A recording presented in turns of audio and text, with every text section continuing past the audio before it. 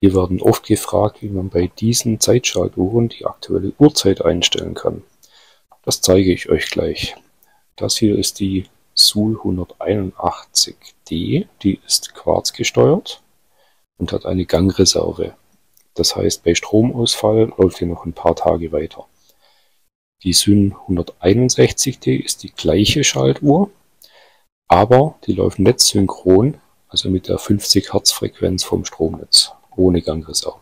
Die Schaltzeiten einstellen ist ganz einfach. Wenn ich die Schaltreiter so umlege, heißt das in der Zeit ist das Licht an oder was immer ihr damit schalten wollt und so ist das Licht aus.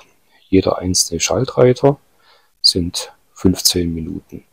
Die Uhr ist also eingestellt auf 12.30 Uhr bis 14 Uhr und genau 12 Stunden später 0.30 Uhr bis 2 Uhr nachts.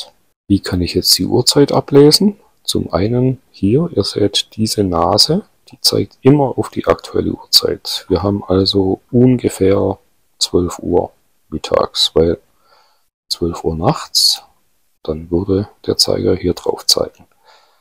Dann haben wir hier eine Uhr mit einer normalen 12-Stunden-Anzeige. Woher weiß ich jetzt, bin ich vormittags oder nachmittags?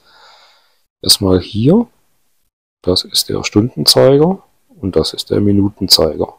Hier auf dem Zifferblatt, ihr seht, da haben wir 3 Uhr, 6 Uhr, 9 Uhr. Das heißt, wir befinden uns am Vormittag. Wir haben also im Moment 11 Uhr 50.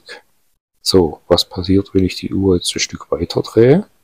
In den Nachmittag hinein machen wir eine halbe Stunde. Klack. Dann seht ihr, was ist passiert. 15 Uhr, 18 Uhr, 21 Uhr.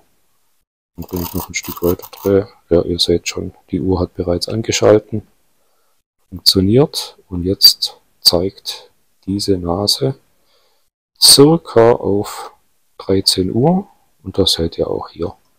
Stundenzeiger auf 13 Uhr, 5 vor 1 nachmittags.